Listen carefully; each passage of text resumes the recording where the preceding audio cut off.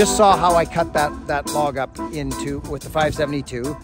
Uh, this now, the wood's getting a little bigger. I'm gonna plant you guys in here. This is a Iron Horse hybrid 372 with a 390 piston in it. Um, or pardon me, I don't even know. It's like a 660 piston, 390 cylinder. Uh, I think he's gonna actually make me a 95cc saw.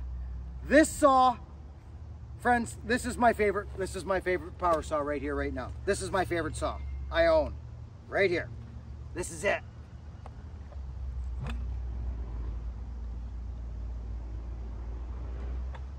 He told me, Buckin, this saw's got compression. He says he's not, he does, he's, he's not used to all this having, this bar oil, I freaking love this new bar oil I'm running right now. I'm gonna share that with you. Anyways, this saw's got the most compression of any of my saws. 372s, okay? Any of them. No decomp, okay? So it's a pull hard once game. You don't play around with a saw. Okay, enough.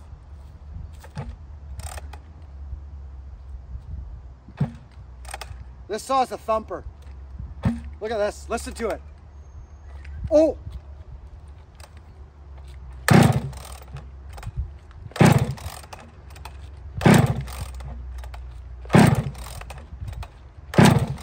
My gosh. I've not fired this in a long time.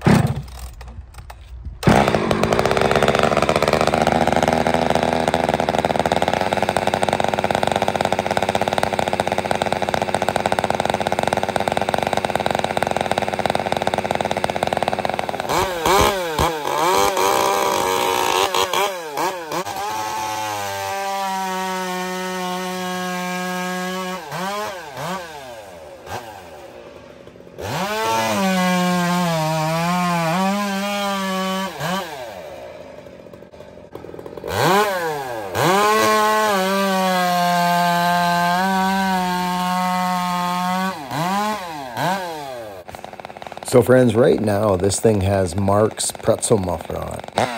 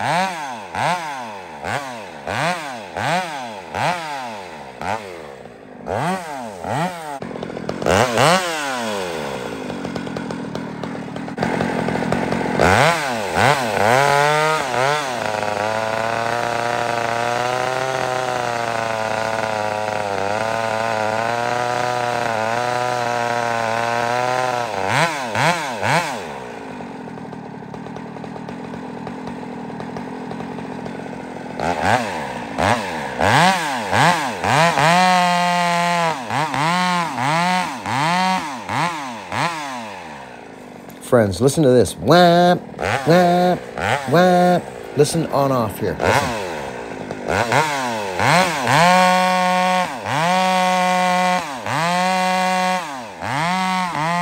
So this is something about these style of saws, the way something that that old man does, that it, it, the crack It's instant throttle response. And it's there when you need it, but exhaust extrapolates that as well, friends. Ah, ah, ah, ah, ah, ah.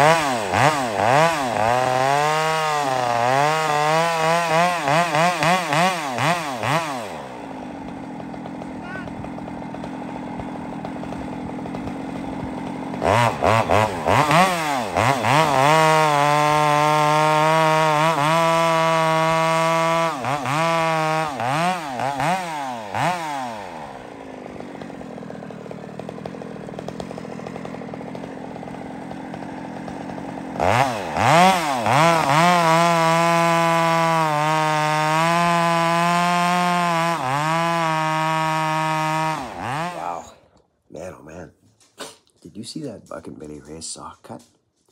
Did you see that? Hmm. Why is mine cut like that? Well, um, it could have something to do with that motion or this. Zzz, zzz. Friends, when I one hand the saw and I show you the, the kickback drop, I call it the kickback drop. If your if your rakers are are are whacked, that won't do that one-handed. You'll have to push on the, to, to stop, like a bore cut, you know what I mean? Like a bore, where you drop the nose into the... A saw won't do that if the rakers are bonky. You might see a little, like you'll notice mine just just a couple little jumps like that, but it sinks right down in and I can push it through one-handed. That tells you the man uses a raker gauge or he somehow fluked out and nailed it. That's what that'll tell you. So if your saw's not doing that, you don't have to test it like I do with one hand. I do that to, to prove a point, to show a point that how important it is to have your rakers on point. Because smooth is fast. Smooth is fast. Can you imagine this? Uh, through the wood? Can you imagine? Uh, or uh, it's faster every single time. Every single time. You could have the exact same sharpening and you could have a saw with one raker or two rakers high, and you will get a chatter, and the smooth saw will finish at the bottom before the rough one will. It's that simple. It's, it's physics. It's not me. I didn't make the rules. So get your filing on point. It's all in the filing. I've said this for freaking years. I'm about to make another shirt. It's all in the filing. I'm going to actually, because there could be nothing further from the truth. It's all in the filing. I harped on it years ago, and I even made a little sticker and a little thing, and uh, nothing could be further from the truth, friends. Ported saws are wonderful, and pipes make a huge difference. Let's be honest, they do. And I'm working on a 572 design right now, friends, that has actually changed the game. And you're going to see that next video. Not this video. This video is the, the 86er and the Pioneer. And what a, what a party that was, wasn't it, friends? Hey, you're about to see the 51 go off here. So just a quick interjection to a hello to all the families and the men and the women and the children that sit and watch old Buckin' Billy Ray just play around in the wood and in the trees. I love yous.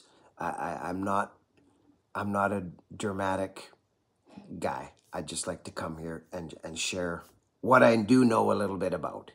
And that's the power saws. But I will say this, it is in the filing, friends.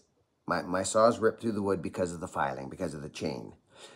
There's guys that are going to have stronger saws that I'm still going to catch at the bottom. I'm going to I'm going to see at the bottom.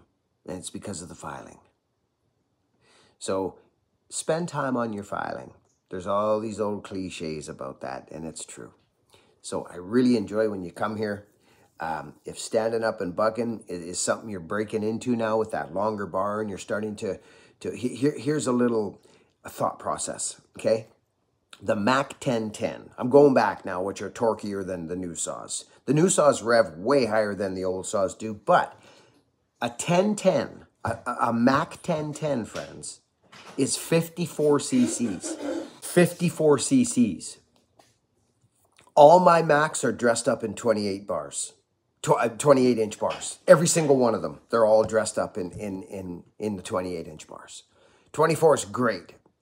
It's great. I can still stand up and get a fair bit of work done with a 24 inch bar. So don't think if you're running a 20 inch bar on a, say, a 60 cc saw, if you've got a 60 cc saw, a new 60 cc, 60 to 65 cc saw, you should be able to run a 24 to a 28 inch bar on that all day long with no problems whatsoever.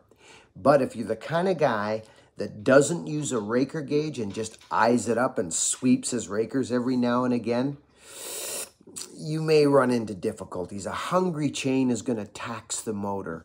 Oh yeah, well Bucking, that's all fine and dandy in your softwood there, but when you get into some of this Mississippi hickory, oh man, you you got another thing coming, young feller. Oh crikey, mate, you gotta try some of our grey box. You should be able to set your dogs in to a log that's fairly good size, knee height, like I'm doing here, and, and lean on it a bit without it dying. And the reason they die is because your rakers are too low and you're lifting up too hard. Let the motor work, friends. Let the motor work. There's a little bit of a science to it. Let's get back at this. Let's enjoy the P51 in all its glory. It's a funky saw. It's got a choke that kind of slips on. I got to stay on it. It's old, but she's got the canachas, let me tell you.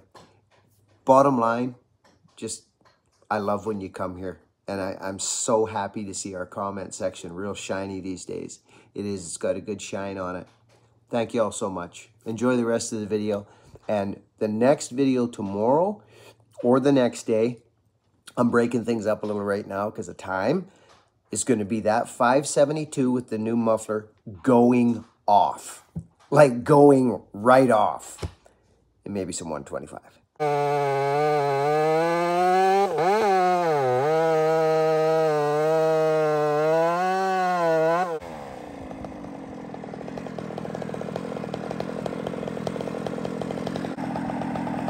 Uh-huh. Uh-huh.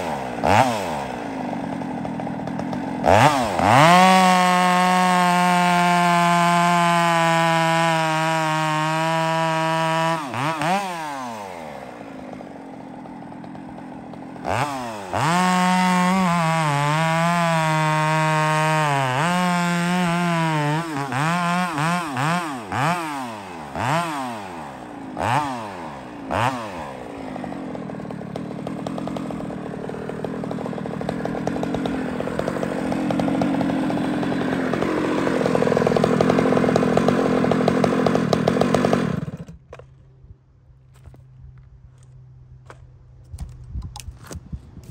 So I used, I might throw a different muffler on that saw because, uh,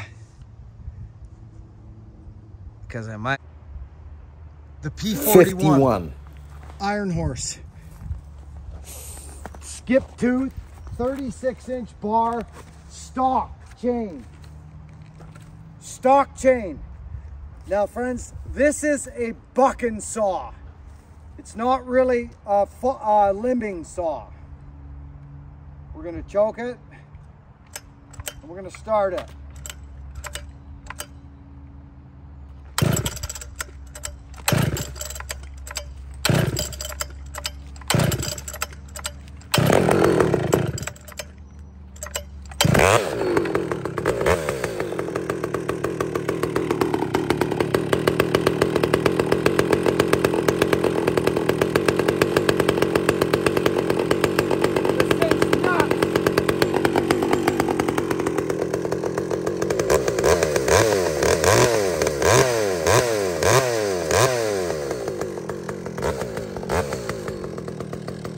Oh.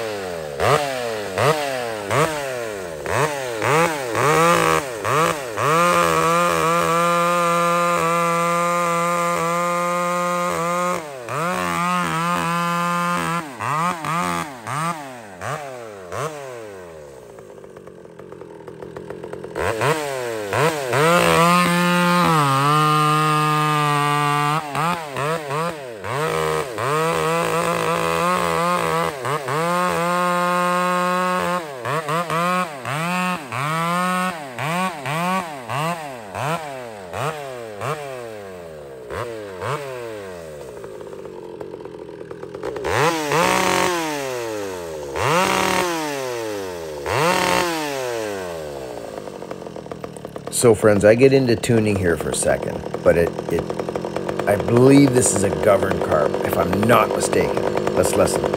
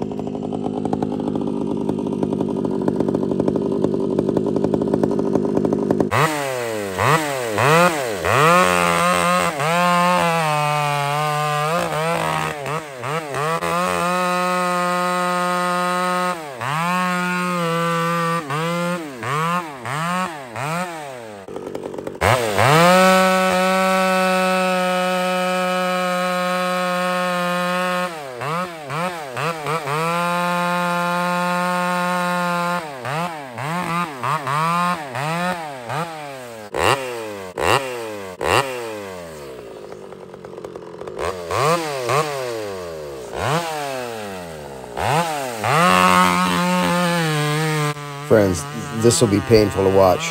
I'm going right through these knots because I don't want to change the size of my wood. I'm dead square in about four knots here. Watch, watch what happens here.